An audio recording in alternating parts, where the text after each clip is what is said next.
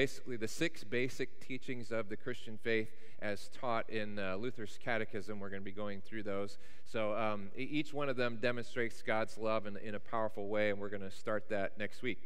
But if you've been with us for the last six weeks, you know that we've already been through all five stages of grief. And so, what are we going to do today? Well, today we're going to talk about how in Christ we have something that those who grieve without Christ don't have, and that is the assurance of eternal life for those who die in the faith, which brings then to us, those who have lost loved ones, a peace and a joy that uh, you can only find in Christ. But Pastor Tony talked about the final stage last Sunday, which was acceptance. But I want to talk about how acceptance and peace might be two different things maybe how they're different. I just want to i want to throw that out to you and let you talk about that for a minute. Uh, in, in this service we have um, opportunity to uh, discuss uh, certain points of the message and feel free to share as much as you like at your table or just sit back and listen to what the other people have to say. But i want you to chew on this question. What is the difference between acceptance and peace especially as it relates to the to the grieving process? Let's take about two minutes to do that now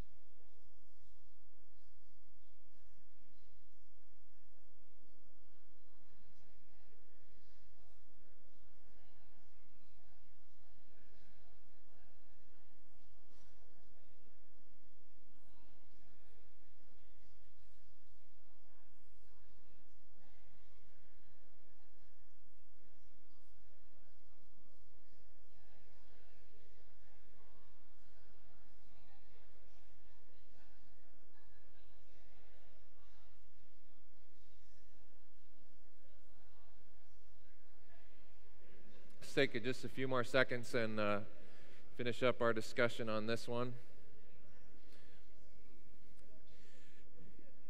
You know, somebody asked me uh, why during Easter we're talking about death and grieving.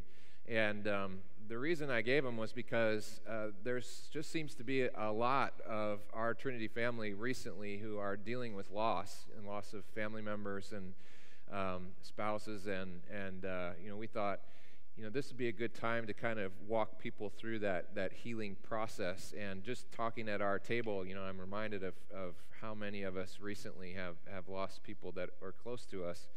And, um, you know, the, all the more reason why um, it's important to, to remind ourselves that acceptance and peace are different things because you can come to accept a passing but not have a peace about it. And it's also important to know where that peace comes from. That peace comes from, from God in knowing uh, his gift of eternal life through Jesus Christ. Um, I just want to remind you, too, that Paul says in his letter to the Thessalonians Brothers and sisters, do not grieve like the rest of mankind who has no hope. For we believe that Jesus died and rose again, and so we believe that God will bring Jesus those who have fallen asleep in him. Paul's urging us don't grieve like those people who don't have hope because we do. We have the hope of the cross and the empty tomb, the resurrection of Jesus. And this is why we're talking about this at Easter time, because the empty tomb is a picture to us of that peace and joy that only we can have in the passing of someone who we love. You know, I think uh, kids understand this even better than adults do. Um, uh, I was I was uh, shared a story in early service, and my wife just reminded me of another story. But the the story that I shared in the early service was um, I did a funeral for a man who was in his late 20s. Uh, he had a, a, bad back injury, and then he accidentally overdosed on uh, on pain pills that he had been prescribed for his back injury. And um, and I was doing the funeral for him, and he had a little boy that was probably seven or eight years old. And on the way out of the funeral you know, I bent down to him and I said, um, you know, how are you doing? Is there anything I can do for you? And, and his exact words to me were, I'm doing okay because my daddy is with Jesus. And, um, you know, he's doing okay. And why? Because he has that peace that only comes through knowing Christ. Now, was he sad about his dad being gone? Absolutely. Was he grieving his passing? Absolutely. But he knew where his dad was. It was the resurrection of Christ and the promise of resurrection for his dad that brought him to that final stage of grief that only Christians experience, and that is, is peace. So, um, you know, I just want to also kind of walk through. Uh, oh, the other example, actually, that my, my wife just reminded me of is um, when we were in ministry at uh, Marco Island, and my wife was the youth minister there there was a, a girl who started uh, coming to church because her mom wanted her to uh, just have socialization. She wanted her to have a, a, network of friends, and she thought, you know, church would be a good place to do that. The mom was was very, uh, you know, clear about her beliefs. She didn't believe in Jesus at all. Um, but the daughter then, uh, as she grew up in the Sunday school system and as she was introduced to God and she began seeing God at work in her life, she was confirmed and then baptized on the same day when she was in seventh grade. And, um, and then uh, the, uh, her grandfather, the, the woman that brought her uh, father, passed away. And she was really a wreck, but she looked at her daughter and noticed that she was sad, but she had something that she didn't. She had an assurance and, and a hope in, in Christ that she didn't have. And so then it was through watching her daughter grieve in a different way than her that she finally came to faith also and was baptized. So it was, it was a beautiful way that God worked through that. But, um, and it just highlights then those who grieve with no hope and those who grieve with the hope of Christ. And there's lots of examples in Scripture of how Jesus intercedes, interjects into the grieving process, and brings about that joy and peace that only He can give. Uh, the first example that I want to give is um, when Jesus raises a widow's son in Luke chapter 7. This is, uh, takes place outside the city of Nain. That's the only time that that city is mentioned uh, in the Bible, but it's still a city today in Jerusalem uh, or in uh, Israel, rather. It's on the um, east side of the Sea of Galilee, and uh, it was uh, the, re- the place of the resurrection and the, and the widow's house was actually turned into a church in the first century, and it's still there today. So it's a, it's a neat thing to go and see. But uh, Jesus is walking up to the city of Nain, and there's a big gate outside the city, and, and there was a funeral procession that was coming out to a, a burial spot. And there was a bunch of people that were crying and, and grieving, understandably, the, the loss of, of this uh, young man. And Jesus sees this coming, and the text says that he has compassion on this widow. Now, the, the widow, of course, lost her son, but even more than that, she lost the only person who could care for her in her old age. She was a widow, which means she'd already lost her husband, and this was her only child and only son who was to take care of her. And so Jesus came to her and said these words Don't cry. Now, why would he tell this woman not to cry? Here she is in this uh, terrible situation, having lost her son and lost the person who, who cares for her. And uh, then Jesus goes on to, um, to explain or to show why he tells her not to cry. And he leans over and he says, Young man, I say to you, get up. The dead man sat up and began to talk, and Jesus gave him back to his mother. Grief in this case ended up in peace and in joy because of resurrection in Jesus Christ. That he really interrupted the grieving process with eternal life. And so then, of course, the, the woman's, uh, the widow's grieving experience was uh, drastically changed because of, of this um, life that she had given, that Jesus had given her son. So, the second um, example of this that I want to uh, tell you about was when Jesus raises, uh, raises Jairus' daughter in Mark chapter 5.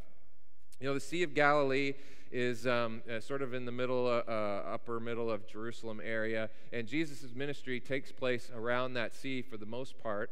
And he's traveling back and forth across it a number of times uh, because sometimes the crowds would get overwhelming and he would go to a new place and, and do ministry there for a while.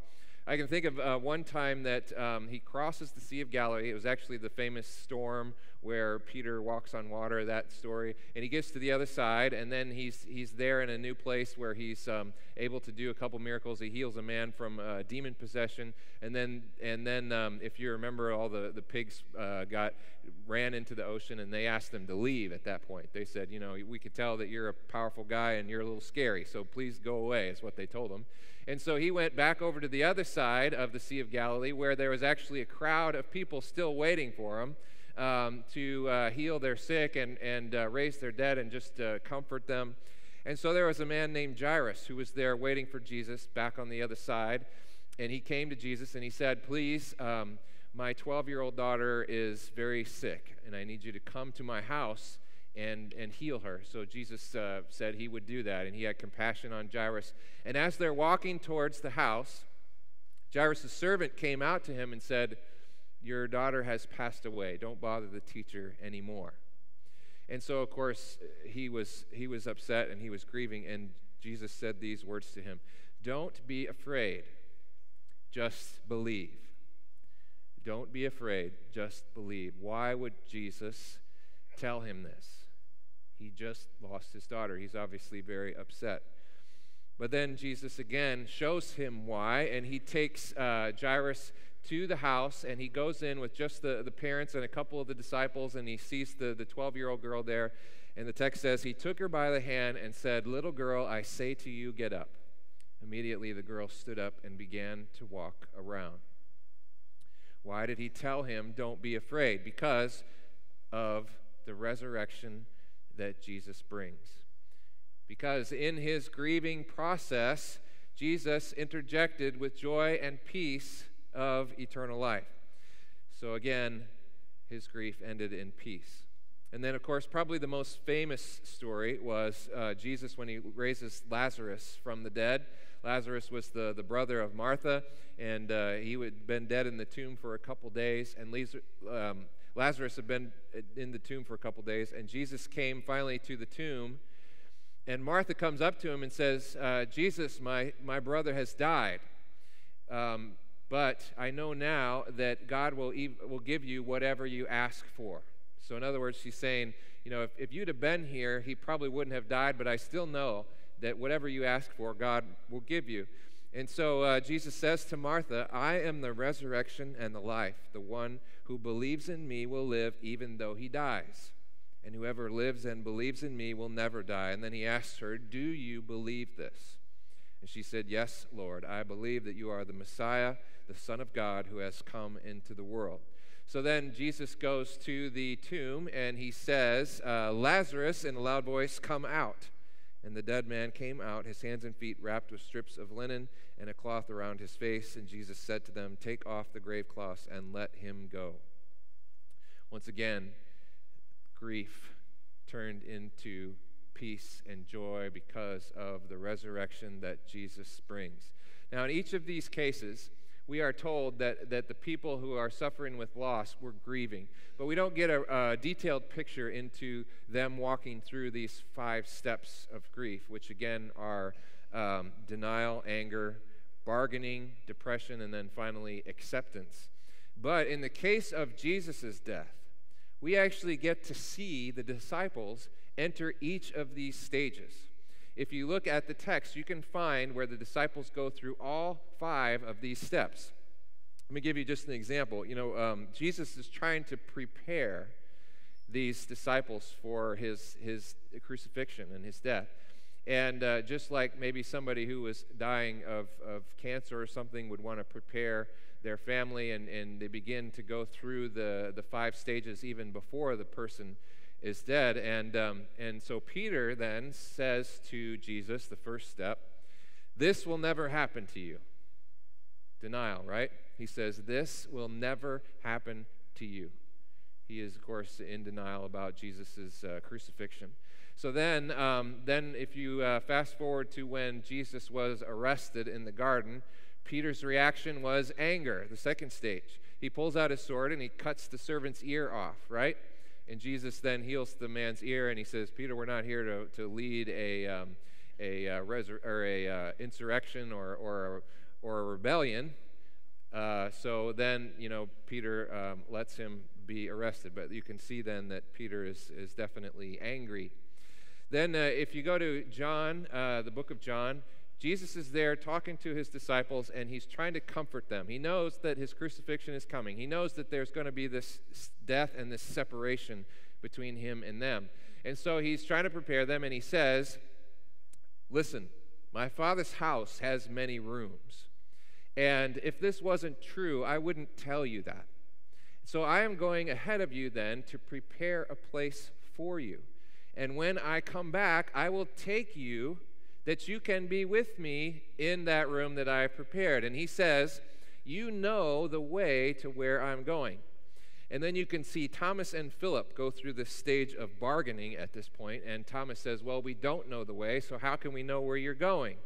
And Jesus says, um, I am the way, the truth, and the life. Whoever believes in me will have eternal life. So Jesus is trying to comfort them in his eventual passing, and, and the disciples are bargaining with him a little bit. And then uh, uh, Philip says, Well, show us the Father, Jesus. If you can show us the Father who are speaking about, then that will be enough for us. Those were his, his words. If you show us the Father, that will be enough for us. He's, he's trying to bargain. He's saying, if you really want to comfort us, you really want us to believe this promise that you're giving us, show us the Father, and then, and then we'll believe. Then we'll be comforted.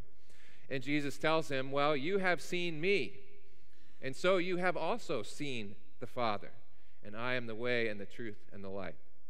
So, um, so there, here they are bargaining with Jesus uh, as part of their grieving process. And then finally, uh, it, after Jesus is crucified and he's in the tomb, you can see them kind of go through this period of depression, right? Uh, Mary's at the tomb, she's crying, and she gets the, she's trying to prepare Jesus for his final burial. She still doesn't understand the whole resurrection thing yet. And she gets there, and the tomb is empty. And you can kind of read between the lines here. She's like, ah, you know, we just lost Jesus to the cross and now we've lost his body. I mean, just tell me where he is. So then she turns to somebody who she thinks is the gardener behind her and she says, just listen, tell me where Jesus' body is, please. If you have taken him, tell me where I can find him. And uh, then, of course, it wasn't the gardener, it was in fact Jesus. And, and he says, Mary, why are you crying? And she wraps her arms around him and gives him a big hug and she says, um, he says, Go back and tell the disciples that I have, uh, I have been raised from the dead. So um, when she goes back, of course, all the rest of the disciples are kind of in this period of depression too. They've locked themselves all together in the upper room, kind of just wallowing in their, their own uh, uh, sadness and grief and depression. And then they, they hear this news that Jesus is risen from the dead and they don't quite know what to make of it. And then Jesus then appears to them in this room. And do you remember what he, what he said to them? He said, Peace be with you. So, in both Mary's case and the disciples' case, their grieving was cut short by the peace and joy of the resurrection. He gave them the peace of God which surpasses understanding. in their hearts and minds. So, now our loved ones and us were really no different in terms of our experience of death as far as um, what Jesus experienced.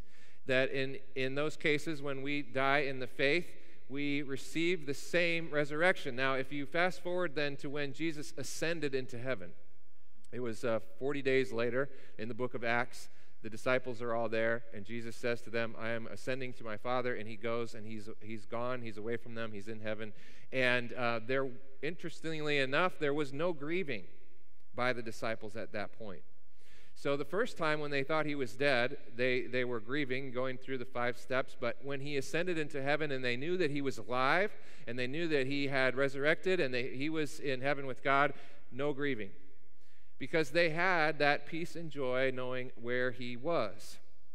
And so then, if we have that same assurance that our loved ones and also us have the promise of eternal life, and we know that they are in fact alive, even though temporarily separated from us, then we too will have peace and joy that only comes through knowing Christ. Now, certainly it is okay to grieve the loss of someone who we love. Even if we have the assurance that our separation is only temporary, it hurts to be gone from that person for, for that amount of time. So everyone needs to go through those, those five steps. But remember what Paul says Do not grieve like the rest of men who have no hope, for we believe in the resurrection of Jesus Christ for all who put their faith in him. And so then, uh, for those of us who are grieving a loss in our lives, I just want to offer you a blessing. May the peace that surpasses understanding keep your hearts and minds in Christ Jesus our Lord. Amen. Let's pray. Dear Lord God, we, we thank you that even in the midst of great loss and grief, that you have given us the assurance of your Son, that in his death and resurrection in the empty tomb, we have a promise for those who have faith in you that you will take them to be with you, that you have prepared a room in your Father's house for them. We ask that you would remind us of that so we can have the peace that surpasses understanding and the joy that only you can give. Lord God, we also ask for your healing mercies and your assurance to all those among us who are facing surgery, recovering from surgery, or recovering from cancer. We pray that you would guide them and remind them of your promises of eternity and your eternal healing as well. But also, we ask that you would restore them to health, that they might continue the work that you have called them to do. We especially ask this for Sam Berger, who is facing surgery this week. We pray that you would uh, watch over him and, and guide him and bless the doctors and the nurses, that they would that they would grant him the care that he needs. Lord God, we um, also pray that you would be with the Caliendo family at the loss of Lynette's brother. We pray that you would uh, grant them peace and joy even in the midst of their grief because of your assurance of eternal life. And we ask that you would help each and every one of us here be a source of strength and encouragement to those around us who are suffering grief, that we might be your voice of assurance and hope to them. In Jesus' name we pray. Amen. I ask you to stand at this time, and um, we're going to pray together the prayer that our Lord has taught us. And in this prayer, again, is the assurance of the forgiveness of our sins and eternal life in Christ. Our Father, who art in heaven, hallowed be thy name. Thy kingdom come Thy will be done on earth as it is in heaven. Give us this day our daily bread, and forgive us our trespasses, as we forgive those who trespass against us. And lead us not to temptation, but deliver us from evil. For thine is the kingdom, and the power, and the glory, forever and ever. Amen receive the blessing of our Lord. The Lord bless you and keep you. The Lord make his face to shine on you and be gracious to you. The Lord look upon you with favor and give you his peace. Amen.